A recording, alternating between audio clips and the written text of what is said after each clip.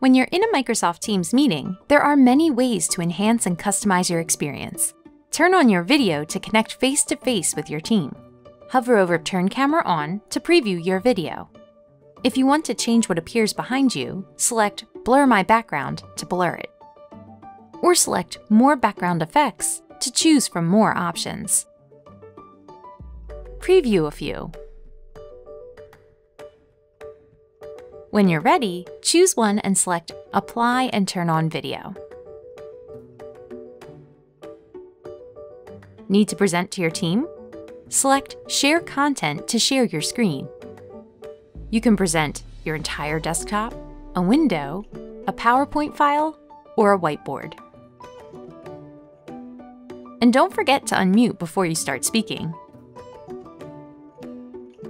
If you're listening to a presenter, raise a virtual hand to let others know you want to speak up without interrupting the conversation. Go to Reactions and select Raise Hand from the meeting controls. And people see that your hand's raised. Like what someone said? Show how you feel.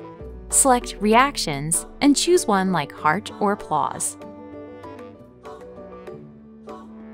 When a featured speaker is talking, spotlight their video to make it the main one everyone sees.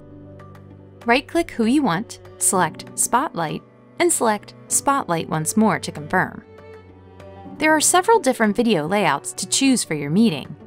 Gallery View is the default one when you first join.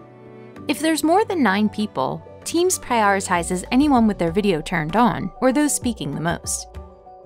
To feel like you're in the same shared space with everyone in the meeting, select More Options, Together Mode, and pick a scene. And if you need a space for more focused discussions, select Breakout Rooms to create smaller groups. Choose how many rooms you need and how to assign participants. Then, select Create Rooms, Start Rooms.